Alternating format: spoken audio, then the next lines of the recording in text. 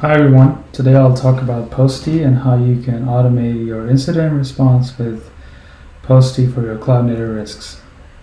A brief agenda for this talk will be going over some common security paradigms really quickly, some of the challenges that we all face today, some solutions with Postee, and a demo. So you've all heard that security is a requirement and not an option. Therefore, we go and get ourselves into vulnerability scanning and all other kinds of scannings that are out there to protect ourselves from the bad guys out there. But have you ever woken up with such an inbox and wondered if you're really in the right profession or not? Alert fatigue can be real and is real, as PagerDuty talked about in this article. They mention a few things that can make an alert good or bad. Some of the good things for an alert should be that it should always be actionable. Someone who gets paid should know what to do with it. Should be descriptive enough so that they can act in case they have forgotten. And it always should go to the right people. Nobody wants to be woken up at midnight for a page that they have no idea what to do. But an ideal alert is all that and should be automated. By that, I mean it should be self healing, some people call it self resolving. It should find its own place and way, and if it's something that happens often, there should be a defined playbook that can get executed every time such an alert is received by the operator. So for the for the title of this talk, as as you've seen, it's SOAR with POSTEE, and SOAR actually is an acronym that stands for Security Orchestration, Automation, and Response. For this talk, I'll focus on the automation and response piece of POSTEE. So without further ado, I'd like to introduce you to Aqua Postee. What is Postee, you may ask? Postee is a message-based routing system. The routing is done on a policy base, so you can define policies to basically play out your plays and, and what happens to your messages. And the enforcement can and enforcement can be done on the alerts that you receive. Policies are written in Rego. We'll see a short example of it when I demo. So as a high level overview, Postee can be thought of this can be looked at from from a 10,000 feet overview. If you are not familiar with the nitty gritties, like I'll just walk you over the small subsections of this this chart. So we all know Trivy, we all know Tracee, we all love them, and you'll be happy to hear that Trivy and Tracee both can work with Postee, and as a matter of fact, it's not just limited to Tracee and Trivy. Any producer of events that can send an event over to Postee, you can you can Postee can play with it. So, for instance, if you talk about Tracee, how it can integrate with Postee, Tracee is a piece of software that uses eBPF technology to find and detect malicious behavior running on your nodes or your machines. In this case, if Tracee observes a malicious behavior, it creates an event, sends that over to Postee, where Postee is listening for Tracee's events, and then Postee has this automation defined in itself that lets it take actions such as terminate the malicious process that was reported by Tracee. Of course, you can define such actions to happen when Postee receives such an event, and there's many more that you can come up with depending on what your situation looks like. So I'll give you a quick demo of how Tracee can work with Postee now.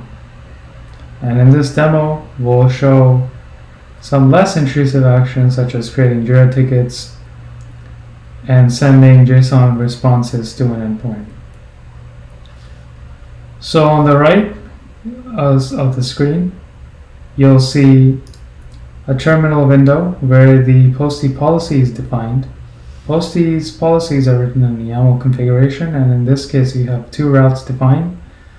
One creates a Jira ticket if it receives a particular event, and one sends it to a webhook if it receives another kind of event. So I'll start Postee on the right hand pane. As you can see, Postee started, it has configured itself, and in the middle pane, I'll start Tracee in a Docker container. Tracee in this case is configured to send its events to Postee, as I mentioned. Tracee is going to start up, and as you can see, it has immediately found a suspicious behavior that it has flagged on this host that I have put forth, and as a result, Postee has taken that and sent it over to the webhook endpoint that is listening for all these events. As you can see, there's a there's multiple of them and Postee is basically forwarding all the information that it has received from Tracee, all the metadata that can be useful for you to make a conscious decision on what to do with this alert over to the endpoint. Now, let's say a malicious attacker comes in and runs stuff that you don't want them to run. In this case, Tracee will deduct that too, and that's cool. Tracee will forward that and put it forth to Postee, which in this case we've defined it to create a Jira ticket. As you can see, Postee has created a Jira ticket for us with a predefined template that we have specified along with all the information that it has found. It has nicely labeled and assigned to me so that I don't have to be woken up at midnight and I can come take a look at it tomorrow.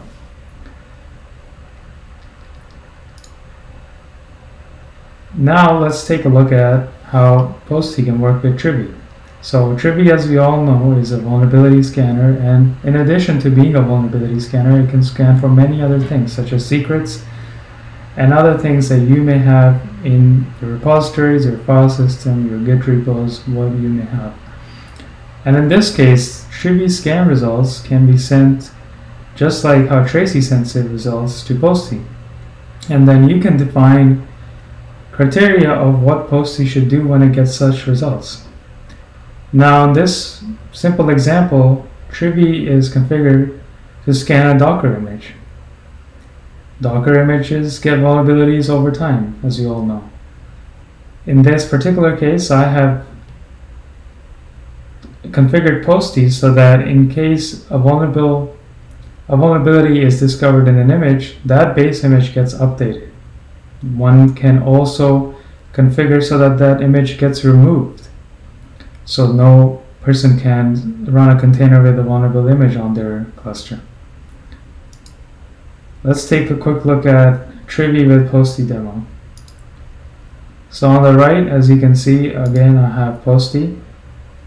And once again, we'll create a ticket uh, for the purposes of this lightweight notification that someone like me can take a look at next morning. And I have configured Postee again with the regular rule, but this time I'm looking for all images that belong to the Alpine family of operating system. So I've scanned an Alpine 310 image, which is quite old, but recently it has had a CVE, a vulnerability in it. Trivy found that out, sent it to Postee, Postee took at it, sent it to Jira, created the ticket, and put all the information that I need to take a look at tomorrow morning when I come to my desk. With the critical, with the severity of the vulnerability flagged as critical, and has tagged it, assigned it to me, boom.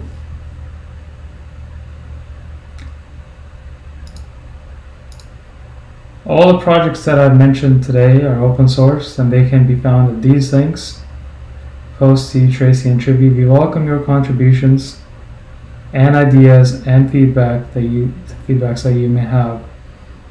And we look forward to working with you on these. Thank you so much and you have a wonderful day.